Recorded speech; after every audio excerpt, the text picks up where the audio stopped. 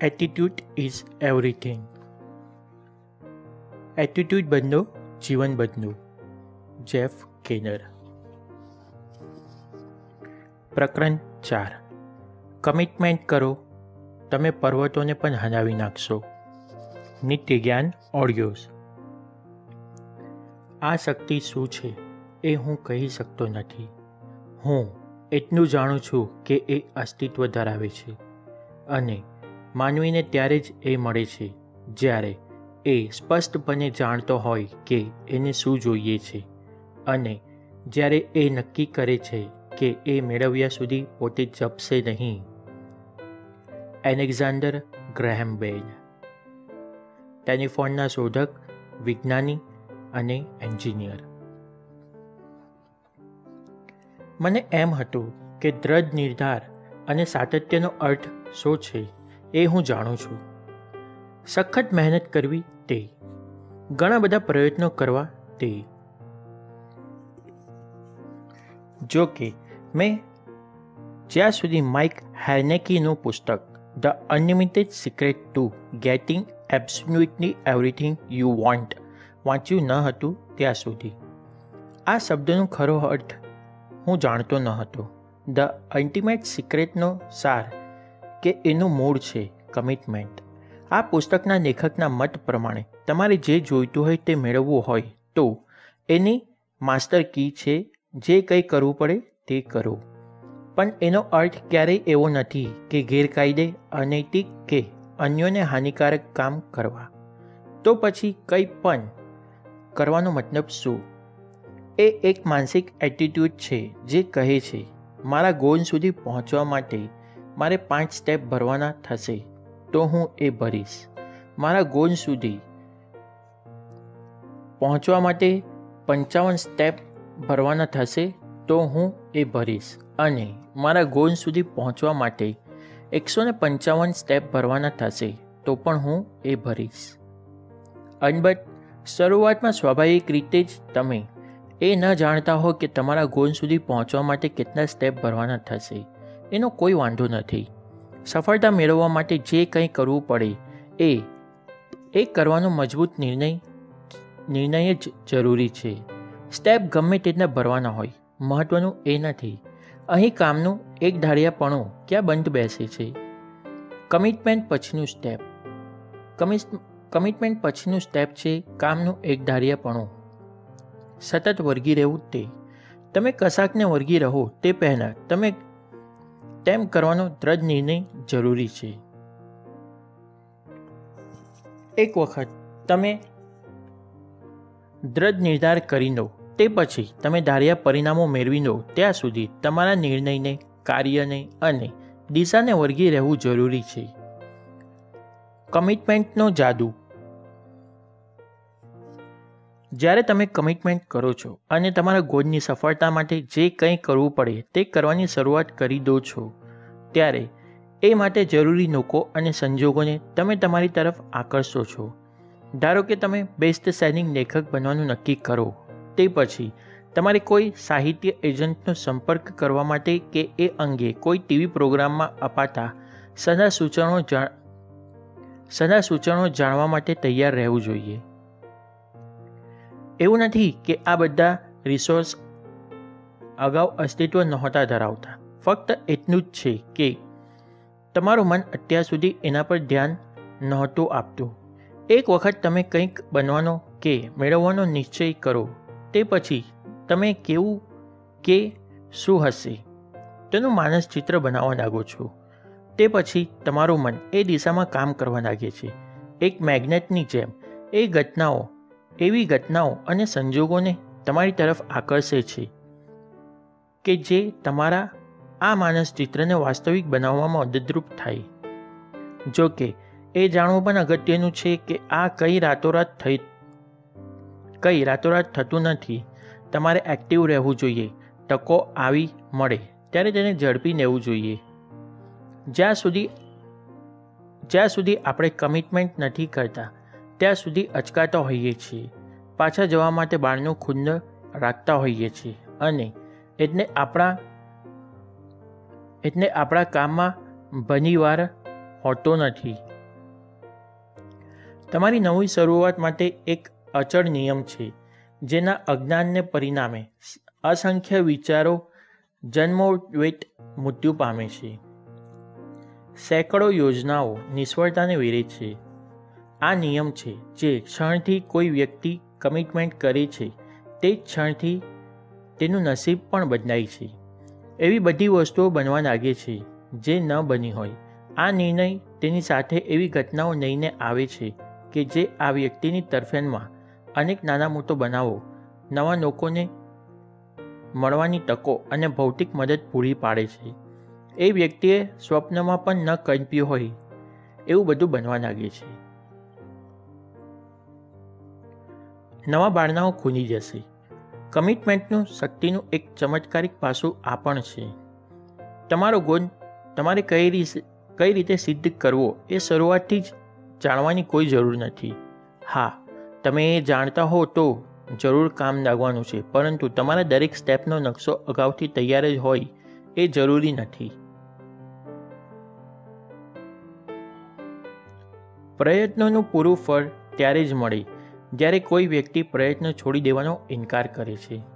Napoleon hill, વિચારો અને ધનવાન બનો, જેવા અનેક પ્રેરણાદાયી પુસ્તકોના લેખક.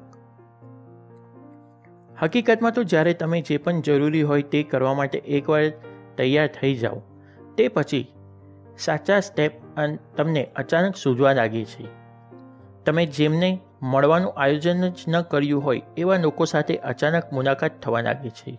નવી તકોના બારણાઓ તમારા માટે ખૂનવા લાગે છે. એમ લાગે, એમ લાગશે જાણે સદનસીબે તમારી સામે સ્મિત કરી રહ્યું છે. હકીકતમાં કમિટમેન્ટ કરીને આ બધી પોઝિટિવ ઘટનાઓને તમે જ સર્જી હોય છે, કારણ કે તમારા મનને હવે તમે આદેશ આપ્યો છે કે આ બધી ઘટનાઓને શોધો અને પેદા કરો. મારા માટે એક બારનું અચાનક જ કંઈક રીતે ખૂન્યું હતું, તેનો દાખલો આપું. ઓગણીસો નેવ્યાસીની સાલમાં મેં મોટિવેશન લેખો લખવાનું શરૂ કર્યું. એ પોઝિટિવ એટીટ્યૂડ અને સફળતાના બીજાના કેટલાક સિદ્ધાંતો વિશે જાણકારી મેળવી હતી અને અન્ય લોકો સાથે તે વહેંચવા માટે હું ઉત્સુક હતો. પરંતુ શરૂઆતમાં ક્યાંથી કઈ રીતે તે મને સૂચતું ન હતું. શું મારે મારા લેખો કોઈ વર્તમાનપત્રને મોકલવા, કોઈ મેગેઝિનને? કે પછી મારું પોતાનું પુસ્તક લખવું? સૌ પ્રથમ જે લોકો બીજાઓને તાલીમ આપવાના અને જરૂરી સ્ટાફ પૂરો પાડવાના કામ સાથે જોડાયેલા હતા, તેમને મેં એક લેખ મોકલ્યો. ઓગણીસો નેવુંના ઉનાળામાં આ લેખ છપાયો. થોડા મહિના પછી સ્ટુઅર્ટ કેમન નામની એક વ્યક્તિનો મને ફોન આવ્યો. તેઓ અમુક વ્યવસાયો સાથે ન્યૂઝ નેટર્સ બનાવવાનું કામ કરતા હતા. તેમણે મને કહ્યું કે, એમને, એમના મિત્રના ઘરે મારો લેખ વાંચ્યો હતો અને તેઓ એમાંથી ખૂબ ઇમ્પ્રેસ્ડ થયા હતા. તે પછી તેમણે મને પૂછ્યું, તમે પોતાના ન્યૂઝ નેટર લખવાનું કદી વિચાર્યું છે? નિખાલસપણે નિખાલસપણે કહું, તો મેં આવું કદી વિચાર્યું ન હતું. અમે એક મિનિટ ગોઠવી, એક મિટિંગ ગોઠવી. સ્ટુઅર્ટે મને સમજાવ્યું કે સેલ્ફ હેલ્પ પ્રકારના વિચારો હજારો લોકો સુધી પહોંચાડવા માટે અમે બંને કઈ રીતે સાથે કામ કરી શકીએ.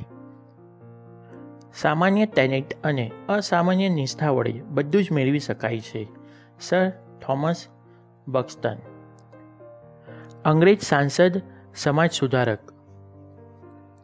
એક મહિના પછી એટીટ્યુડ ઇઝ એવરીથિંગ ન્યૂઝ નેટરનો પહેલો અંક પ્રસિદ્ધ થયો. આ ન્યૂઝ નેટર મેં વીસ વર્ષ સુધી પ્રકાશિત કર્યો અને જીવનને સમગ્ર બદલી નાખતી એ માહિતી મેં લાખો લોકો સુધી પહોંચાડી. આ બધું કઈ રીતે શક્ય બન્યું? બીજા લોકો સાથે આ સિદ્ધાંતો વહેંચવા માટે હું કમિટેડ હતો એટલે શક્ય બન્યું. મારો એટીટ્યૂડ પોઝિટિવ હતો. મેં લખવાનું શરૂ કર્યું અને સ્ટુઅર્ટ કેમન નામની એ એક સાવ અજાણી વ્યક્તિ મારી જિંદગીમાં પ્રવેશ કર્યો. એને ખબર હતી કે મારા સ્વપ્નને વાસ્તવિકતામાં કઈ રીતે પંટાવવું કમિટમેન્ટનો આજ આજ તો જાદુ છે. થોડી સાવધાનીની જરૂર છે.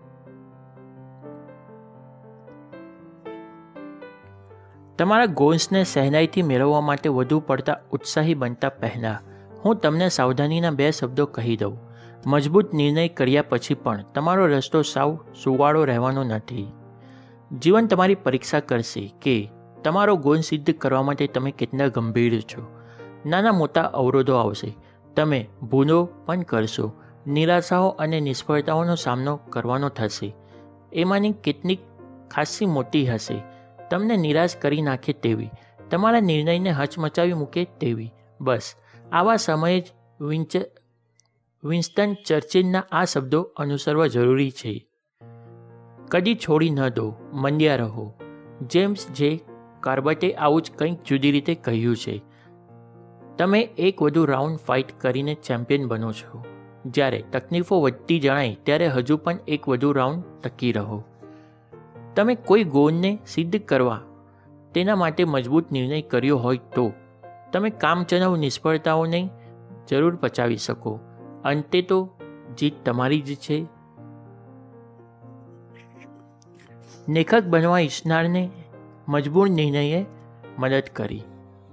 ઘણા વર્ષો પહેલાં અમેરિકન વે નામના મેગેઝિન ડેવિડ બાંડાકી નામના બેસ્ટ સેલિંગ નવનકથા લેખકનો ઇન્ટરવ્યૂ છપાયેલો. એબ્સોલ્યુટ પાવર ટોટલ કંટ્રોલ અને ધ વિનર જેવી બેસ્ટ સેલિંગ નવનકથાઓના એ લેખક છે. તેમના પુસ્તકોની લાખો નખનો વેચાય છે. પણ પણ બાંડાકી રાતોરાત સફળ લેખક નહોતા બની ગયા. તે વાતની ખાતરી હું આપું છું. લેખક તરીકે એમની ટેલેન્ટને વિકસાવવાના એમના મજબૂત નિર્ણયને કારણે જ એ પ્રખ્યાત અને ધનવાન લેખક બની શક્યા. મારી મારફત તેમને પણ એક વકીલ તરીકે શરૂઆત કરીને ઓગણીસો ત્યાસીમાં એમણે કાયદાનો અભ્યાસ શરૂ કરેલો અને બેસ્ટ સેલિંગ લેખક બનવાનો કદી વિચાર નહોતો કર્યો. લખવાનું એમને ગમતું હતું, એટલું જ. છતાં શરૂઆતમાં બાંડાકીને ખબર હતી કે લખવા માટે જરૂરી કૌશલ્ય તેમનામાં નહોતું, એટલે એમણે લેખન કલા શીખવાનો દ્રઢ નિર્ણય કર્યો. પહેલાં પાંચ વર્ષ તો એમણે હાથ પર લીધેલા એક પ્રોજેક્ટ પૂરા જ નહોતા કર્યા. દરરોજ એ પત્રો, નોટના વિકાસ અને લખવાના કૌશલ્યોની મૂળભૂત બાબતો પર જ કામ કરતા. એ સમયે તેઓ વકીલાત કરતા. એમને અને એમની પત્નીને બે બાળકો હતા. તે પછી લખવાનો સમય એમને ક્યારેય મળતો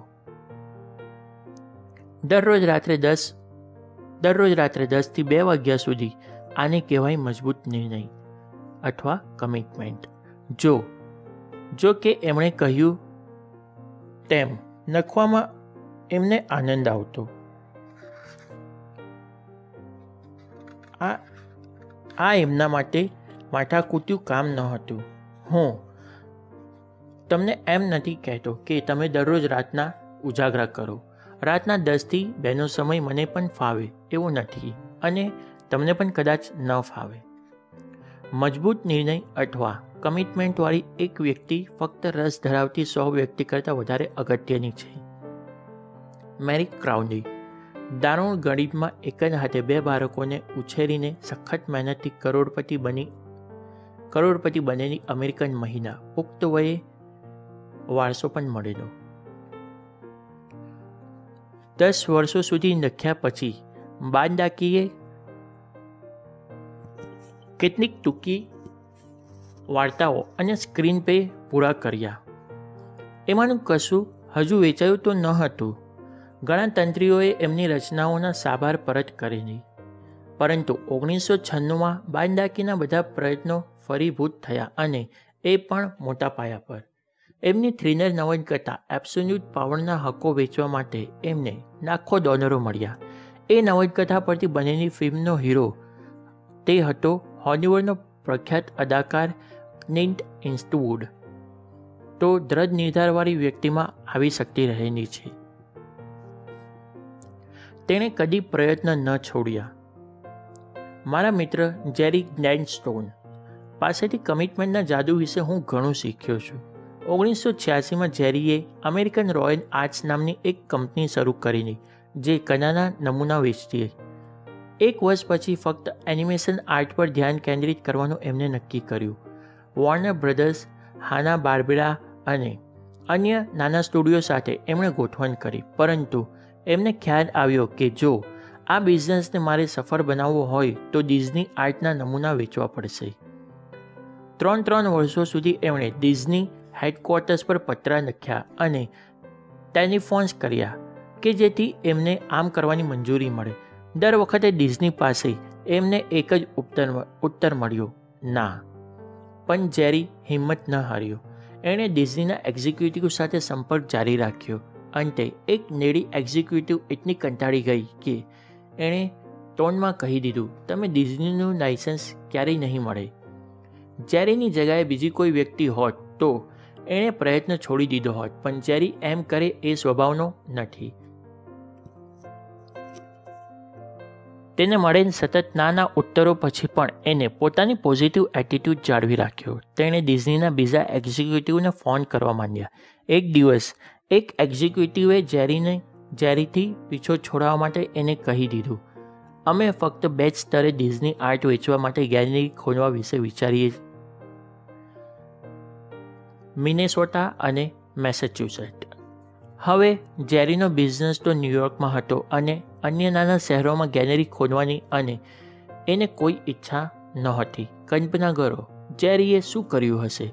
બીજા જ દિવસે બોસ્ટન ગયો અને ત્યાં ન્યૂબરી સ્ટ્રીટની એક જગ્યાએ એને એ જ દિવસે નિષ્ફળ નહીં દીધી બોસ્ટન અમેરિકાના મેસેચ્યુસેટ રાજ્યના પાટનગર છે. એણે ડિઝનીના પહેલાં એક્ઝિક્યુટિવને ફોન કર્યો કે, એણે મેસેચ્યુસેટમાં ગેલેરી માટે જગ્યા નહીં લીધી છે. બંને જણ ખૂબ હસ્યા અને પછી પહેલાં એક્ઝિક્યુટિવે એને કહ્યું કે, જો, આપણી વાતના બીજા જ દિવસે બોસ્ટન જઈને ગેલેરી માટે એક જગ્યા પણ નહીં લેવાની તમારી, તમારામાં હિંમત હોય, તો આપણે તેને ડિઝની સાથે જોડવો જ પડશે.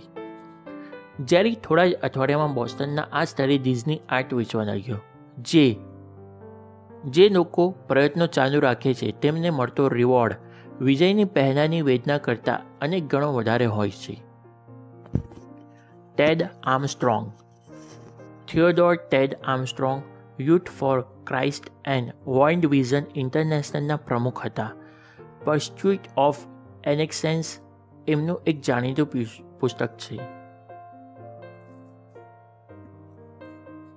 એકાદ વર્ષ પછી ન્યૂયોર્કના એના સ્ટોર પર એના સ્ટોર પરથી ડિઝનીની રેન્જ વેચવા અને પરવાનગી મળી ગઈ. જેરી હવે દશકાઓથી ડિઝની સાથે બિઝનેસ કરી રહ્યો છે. કરોડો ડોલર ડિઝની આર્ટ વેચ એણે વેચી છે અને એનિમેશન આર્ટનો એ વિશ્વભરમાં સૌથી મોટો ડીલર છે. મજબૂત નિર્ણય કે કમિટમેન્ટની વાત કરો. પોઝિટિવ એટીટ્યૂડ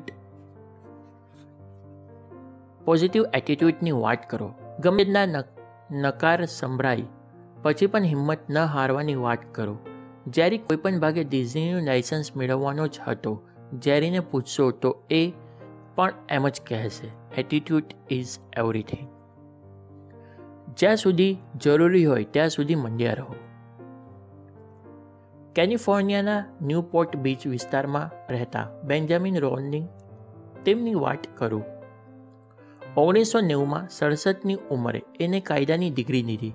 પણ વકીલાત શરૂ કરતા પહેલાં એમણે કેલિફોર્નિયા બારની પરીક્ષા પસાર કરવાની જરૂરી હતી.